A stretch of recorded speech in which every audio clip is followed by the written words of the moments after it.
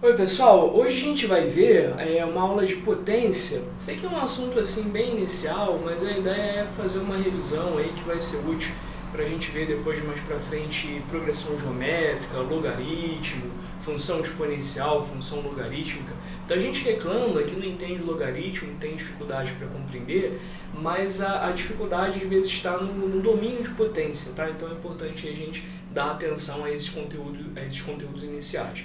Então, começando aí com a definição de potência, eu tenho aqui A elevado a N. A ideia da operação de potência é resumir uma série de multiplicações de fatores iguais. Tá? Então, eu tenho aqui A elevado a N, substituindo uma multiplicação de N fatores iguais a A. Então, o A aqui aparece N vezes. A gente diz que o A aqui é a base da potência o A é a base da potência e o N é o expoente. Então essa mesma nomenclatura de base né, vai continuar aparecendo lá em logaritmo também, né? o expoente vai fazer é, o papel do logaritmo, a gente vê isso mais para frente. O exemplo aí, um, um exemplinho, né? eu tenho aqui 3 elevado a 4, né? aí eu pergunto para você, né? Ah, quanto que é 3 elevado a 4? Não vai dizer que é 12, né? Não, você vai pegar e escrever o 3 multiplicado aqui 4 vezes. Então 3 elevado a 4 é 3 vezes 3 vezes 3 vezes 3. Só fazer essa conta. 3 vezes 3, 9. É, 9 vezes 3, 27. 27 vezes 3 é igual a 81. Tá certo? Então essa é a ideia básica a ideia mais simples é, de potência, onde a gente tem a base, vou escrever aqui a base, um número real, e o expoente, o n, é um número natural, tá? Porque ele é um número natural, ele é resultado de uma contagem. Ele vai dizer pra gente quantas vezes o fator aqui aparece repetido, tá bom? Mais pra frente a gente vê né, uma extensão, né, uma generalização desse conceito, onde o expoente ele pode variar ali no conjunto dos números reais, por enquanto o expoente é pra gente ainda um número natural, tá bom? Pelo menos nessa primeira parte. É, vamos lá, casos especiais, dá uma, uma analisada aí em alguns casos especiais de potência. É, por exemplo, quando eu tenho aqui 0 elevado a n, tá? se eu tenho 0 elevado a n, é porque a minha base é 0, mas eu estou repetindo essa multiplicação 0 vezes 0 vezes 0 vezes 0, um certo número n de vezes. É, bom, eu sei né, que isso vai dar, com certeza, é, zero. Né? Qualquer número multiplicado por zero é igual a zero. Né? Então, 0 elevado a n é igual a zero. Tá bom? Uma restrição desde que o n, opa, o n seja diferente de zero, tá bom? Zero elevado a zero a gente vai ver mais para frente que é, é uma situação mais problemática. Outra, outra, outra questão aqui, 1 elevado a n, tá bom? Eu tenho uma base 1, 1 sendo multiplicado por ele mesmo várias vezes, é óbvio né, que vai continuar sendo igual a 1. Lembra aí que o 1 ele é o elemento neutro multiplicativo. Qualquer número multiplicado por 1 é ele mesmo, né? Então, multiplicar várias vezes aqui por 1 não vai alterar o resultado. Menos 1 elevado a n. Vamos lá, agora mudou um pouquinho, né? Nossa base é um número negativo. Quando eu tenho menos 1 elevado a n, o resultado aí vai depender se o n em questão ele é um número par ou ele é um número ímpar, tá certo? Porque se ele for um número par, o que vai acontecer? Né? Por exemplo, n igual a 2, né? você vai fazer menos 1 vezes menos 1, né? o sinal negativo ele é aplicado duas vezes, a gente usa aquela regrinha de sinais menos com menos dá mais, tá certo? Então se eu tenho é, o n par, eu vou multiplicar, eu vou usar aqui o sinal de menos uma quantidade par de vezes, e isso vai se tornar é, esse menos, né, uma quantidade par de vezes vai se tornar positivo. Então, menos 1 elevado a um número par vai ser sempre igual a 1, né? A 1 quando n é par, e quando n for ímpar, isso vai ser igual a menos 1, tá certo? E aí, cuidado para não confundir, né? É a nossa quarta situação aí. Tem gente que às vezes, é, tem aluno às vezes que, que, que, guarda essa informação, né? Ah, expoente par, resultado positivo, né? E aí se confunde nessa quarta situação. Repara a diferença, né? Nessa quarta situação, pessoal, menos 1 elevado a n, agora sempre vai ser um número negativo. Tá? Pelo seguinte, repara que o expoente n está sendo aplicado apenas ao 1 e não mais ao símbolo de menos. Tá? É, como, como acontece aqui no terceiro item. Terceiro item, parêntese indica para a gente que o n está sendo aplicado ao 1, né? o expoente está sendo aplicado ao 1 e também o sinal de menos. Isso não acontece aqui na quarta situação, tá bom? Então, parêntese aí, ele é importante para dizer para a gente né, é qual é o resultado da conta e se o, o, sinal de menos vai entrar ou não aqui na, na, na, nos nossos fatores. Tá bom? Caso aqui do problema 3, se eu tenho menos 1 elevado a n, eu tenho menos 1 vezes menos 1 vezes menos 1 vezes menos 1. Se eu tenho, como no caso 4 aqui, menos 1 elevado a n sem parênteses, o menos aparece uma vez só e o 1 é que vai aparecer sendo multiplicado várias vezes, certinho? Bom, pessoal, falar de algumas propriedades, é, revisão aí de coisas que vocês já viram aí com certeza muitas vezes aí é, é, no, no, ensino fundamental, né? Professor, professora que falou isso com vocês lá na infância, repetiu isso exaustivamente, né? Até difícil a gente, a gente esquecer esse negócio, né? Aquelas, aquelas velhas regrinhas. Tem uma multiplicação de potências de mesma base, né? O que, que eu faço, né? Você vai dizer aí, você deve estar repetindo aí comigo. É, quando a gente tem uma multiplicação de potências de mesma base, a gente repete a base, né? E soma, né? Soma os expoentes. Então é aquela história que eu comentei com vocês no, no iníciozinho. É, isso tem tudo a ver com logaritmo. Tá? No logaritmo a gente vai ver né, somas sendo transformadas em multiplicações, um, é, aliás, perdão, o contrário, multiplicações sendo transformadas em, em, em somas, é, divisões sendo transformadas em subtrações, e a gente vê né, esse fenômeno acontecendo aqui também na potência. Na verdade, em logaritmo a gente simplesmente reescreve essas propriedades né, usando a notação específica de logaritmo, mas as ideias são as mesmas. Por exemplo, exemplo para a gente ver. Eu tenho 2 elevado a 3 vezes 2 elevado a 4, né? Isso vai ficar 2 elevado a 3 mais 4 2 elevado a 7. Faz todo sentido, né? Se eu tenho aqui 2 ao cubo, o 2 está aparecendo 3 vezes, né? Está se repetindo 3 vezes. 2 a quarta, o 2 está aparecendo mais 4 vezes, então ele apareceu 3 vezes na primeira potência, apareceu 4 vezes na segunda potência, 3 com 4, 7, né? vai aparecer 7 vezes ao total nessa multiplicação. Outra ideia aí, né? divisão de potências de mesma base. É, agora a gente repete a base e subtrai, né? diminui aqui os expoentes, também faz aí todo sentido. Por exemplo, imagina que você queira calcular 2 elevado a 5 dividido por 2 ao cubo, né? 2 elevado a 3. E aí eu vou até escrever aqui, ó, como se a gente não conhecesse a propriedade, só para a gente reparar o que está acontecendo. Né? A gente tem potências iguais, né? 2 elevado a 5 escrevi aqui, 2 elevado ao cubo também. A gente pode resolver, né? Simplesmente simplificando. Né? Você pode, para cada 2 que aparece aqui no denominador, cancelar ele com um fator igual que aparece no numerador. Então você vai cortando, ó, e aí você vê que ao final vai sobrar apenas dois fatores aí no numerador, então a resposta é 2 ao quadrado. Né? Claro, a gente poderia ter feito isso de uma maneira é, mais rápida, simplesmente subtraindo aqui os expoentes, 5 menos 3, 2. Pessoal, mais uma regrinha aí, mais uma ideia. Eu tenho agora uma potência de uma potência, A elevado a M elevado a N. Né? A gente sabe que o resultado é obtido repetindo a, a base e multiplicando os expoentes. Né? Você vai fazer aqui M vezes N.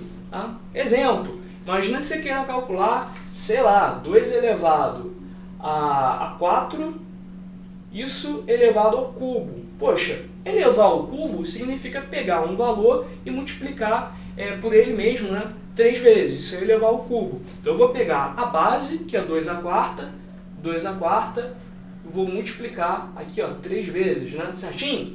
Expoente 3 significa aqui uma repetição de três fatores, como a gente viu lá na nossa definição. Bom, então vai ficar 2 a quarta vezes 2 a quarta vezes 2 a quarta. Opa, mas isso é uma multiplicação de potências de mesma base, a gente recorre aqui à primeira regrinha para resolver. Né? A primeira regra manda somar os expoentes. Então vai ficar 4 mais 4 mais 4, 4 vezes 3. Né? 4 vezes 3, 12. Então a gente verifica aí que realmente essa, essa fórmula aí faz todo sentido. Bom, pessoal, mais duas ideias aí. Vamos dar uma olhadinha também. Eu tenho aqui quarta propriedade diz o seguinte: o que fazer quando você tem uma potência de uma multiplicação, quando você tem um expoente aplicado a uma, a uma multiplicação? A gente pode, nesse caso, distribuir o expoente em cada um dos fatores. Então vai ficar a elevado a n que multiplica b elevado a n, tá certo? A gente pode usar essa ideia. Cuidado, pessoal, essa ideia de distribuir o, expo, o, o expoente nos valores que a gente tem aqui dentro da base, ela vale somente se você tiver uma operação aqui de multiplicação, tá? ou uma operação de divisão, a gente vai ver na propriedade 5. Se a, a, a operação aqui fosse de soma ou subtração, né, seria mais complicado do que isso, né? não seria simplesmente distribuir os expoentes no, nos valores, tá? a gente é, é, teria uma situação um pouquinho mais complicada. Bom, como é que vai ficar então, né? É, vamos ver um exemplo. Se eu posso fazer aqui 2 vezes 3 elevado a é, 4, por exemplo, né? Isso é a mesma coisa que 2 a, a quarta, 2 a quarta vezes 3 a quarta, tá? Posso escrever desse jeito aí sem problema, tá? Dependendo da situação, né? Uma, um dos casos aí pode ser mais útil para a gente, pode ser mais conveniente, né? Uma dessas duas escritas. Pessoal, próximo aí. Eu tenho uma potência, tenho um expoente aqui aplicado a uma divisão, e a gente pode distribuir, vai ficar A elevado a N dividido por B elevado a N. Tá? Claro que isso aqui só vai ser possível, né? Obvia, obviamente, se o B aqui for diferente de zero, né? para a fração poder ser possível. Exemplinho aí, você pode pegar é, 3 meios elevado a, a 3, por exemplo, ao cubo, né? 3 meios ao cubo. Como é que a gente vai resolver isso daí? Você vai distribuir o expoente 3 no numerador e no denominador e fazer as contas separadamente. Então, 3 ao cubo, 27 e 2 ao cubo, 8. Temos aí a resposta, 3 meios elevado ao cubo é 27 sobre 8. Pessoal, tudo bem até aí? Entendido? Vou pedir para vocês fazerem o seguinte, tá? Pausa o, o, vídeo, tenta resolver esses dois exercícios, daqui a pouco a gente vê. E aí? Deu tempo? Resolveu certinho? Vamos lá, vamos conferir. É, a gente tem o primeiro problema, né? A gente tem que descobrir o seguinte, qual é o, o, o valor né, dessa, dessa expressão. Para isso a gente vai aplicar as propriedades que a gente viu. Vamos lá, repare que a gente tem como bases aí aparecendo o 16 e o 4. É bom para a gente se a gente tiver só uma base, tá? Só uma, uma, uma base aparecendo, tá? Porque aí a gente consegue aplicar todas essas propriedades. As propriedades a gente viu se aplicam, né? Pelo menos as três primeiras, somente quando a gente tem bases iguais, tá? Então você olha para o 4, olha para o 16 e observa que o 16 pode ser levado para a base 4, beleza? Isso ajuda a gente, né? Então o 16 você vai escrever como 4 elevado ao quadrado, tá? Então 4 elevado ao quadrado elevado a 13, tá? Só troquei ali o 16. E no, no denominador, você repara que aparece, né? A mesma parcela quatro vezes. Você pode transformar isso em uma multiplicação. Então vai ficar 4 que multiplica 4 elevado a 13. Né?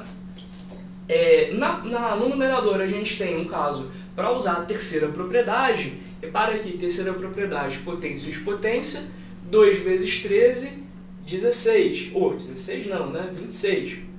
2 vezes 13, 26. E no denominador a gente tem 4 vezes 4 elevado a 13. Você sabe que quando não tem aqui né, um expoente, é porque você pode substituir por 1, tá? O 4 está tá sendo multiplicado uma única vez. Tem uma multiplicação de potências de mesma base. Primeira regra manda repetir a base e somar os expoentes. 1 com 13, 14. E aí, pessoal, para finalizar, você tem uma divisão de potências de mesma base, repetiu aqui a base e diminuiu, subtraiu os expoentes. Faz aí 26 menos 14, 26 menos 14 dá 12 e tá prontinho aí, 4 elevado a 12 é a resposta. Bom, e mas quanto que é 4 elevado a 12, né? Nem adianta você tentar fazer essa, essa conta aí, isso vai dar um número muito grande, né? vai dar um número enorme. É, a gente deixa a resposta assim mesmo. Pessoal, mais um probleminha aí. Quantos algarismos tem esse número? 8 elevado a 30 vezes 5 elevado a 85. Interessante nessa questão é que mesmo se você tentar né, é, roubar, falar assim, hum, já sei, vou pegar isso aí e vou calcular na calculadora do computador, e aí vou, vou descobrir rapidinho quanto que é esse número. Né? Mesmo a calculadora do computador, ela não vai te dar ali a resposta exata, né, porque é um número com tantos dígitos que ultrapassa a, a capacidade de armazenamento do computador, tá bom? Então o computador, a calculadora não é capaz de entender, né, entender esse número, mas a gente consegue entender. Né? É interessante isso. Né? Você consegue resolver e a calculadora do seu computador, a calculadora do seu, do seu celular se perde. É, então vamos lá, como é que a gente resolve isso daí? Né? Eu tenho 8 elevado a 30 vezes 5 elevado a 85. Né? Tem bases diferentes, 8 e 5 são bases diferentes. Nesse caso a gente já nem consegue né, levar tudo para a mesma base, né? como a gente tinha feito com 4 e com 16. Mas olha só o que, que dá para fazer. Dá para você pegar o 8 e escrever como 2 ao cubo, 2 ao cubo elevado a 30 vezes 5 elevado a 85. Tá, calma aí, não ajudou tanto, né? E agora, o que, que você faz, né? O que, que a gente vai fazer? Bom, o 2 elevado ao cubo, você pode escrever como 2 elevado a 90, né? Fiz aqui 3 vezes 30, 90, vezes 5 elevado a 85. Você vai dizer, hum, trocou 6 por meia dúzia, né? Esse número, pelo contrário, né, ele não é mais fácil que o, que, que o anterior, né? Pelo contrário, parece de repente até ser mais difícil, né? Ou, ou tão difícil quanto. Mas pessoal, o que a gente vai usar, a estratégia que a gente vai usar é o seguinte, o nosso sistema de numeração é um sistema de base decimal. Então é, é muito legal se a gente tiver uma potência de 10 apareceu no nosso número, 10 elevado a alguma coisa. Né? Porque 10 elevado a alguma coisa, sei lá, 10 elevado a n é simplesmente o 1 seguido de n zeros. Tá? Então é fácil da gente descrever, tá bom? Então como a gente usa base decimal para representar números, é bom que a gente tenha ali uma potência de 10 no nosso número, vai ajudar a gente a, a descrever melhor. Então você vai pegar é, o 2 e o 5, você vai tentar pegar esse 2 e 5 e juntar uma potência só, usando aqui, olha só, a quarta propriedade. Tá? Então, se eu consigo colocar aqui um expoente comum em evidência, eu vou ter aqui dentro do meu parêntese, né, dentro da minha base, o 2 vezes 5, e eu vou poder trocar esse negócio por 10, tá? E vai ajudar. Tá? Bom, mas, mais um problema, né? A gente não tem aqui, ó, os mesmos expoentes. Então a gente vai ter que dar um jeito aí de deixar o mesmo expoente. Vamos lá, dá uma olhadinha aqui como é que a gente faz. Né? Você pode pegar o seguinte, olha só, 2 elevado a 90 e escrever como 2 elevado a 5 vezes 2 elevado a 85 vezes 5 elevado a 85. Então a gente usou né, a primeira regra aqui da multiplicação, certinho? 5 mais 85 é 90, então você pode quebrar o 2, 2 elevado a 90 desse jeito. E aí olha só, 2 elevado a 5, você pode fazer aí 2 vezes 2 vezes 2 vezes 2 vezes 2, dá 32, né? 2 vezes 2, 4, vezes 2, 8, vezes 2, 16, vezes 2, 32. 32, que multiplica, pessoal, 2 elevado a 85 vezes 5 elevado a 85. Ah, mas aí você pode juntar usando a quarta propriedade, você pode juntar colocando o expoente 85 em evidência, tá certo? E aí a sua conta vai ficar 32 que multiplica 10 elevado a 85. Ah, só fiz aqui 2 vezes 5, 10. Ah, ajudou? Não, ajudou, né? Ajudou porque agora você sabe quem é o seu número. Seu número é 32 seguido de um monte de zeros. Né? Tem um monte de zeros aí no seu número. Quantos zeros exatamente? Poxa, são 85 zeros. Então, ó, aqui aparecem 85 zeros. Então, se você quer saber quantos algarismos tem aí esse número, é fácil. Esse algarismo tem 85 zeros, né? e na frente aqui você tem o número 32. Então 85 com 2 são 87 algarismos, 87 dígitos. Achim? Pessoal, é, a gente fica por aqui, foi a primeira parte de potência. É, próximo vídeo a gente vê aí a parte 2. Valeu!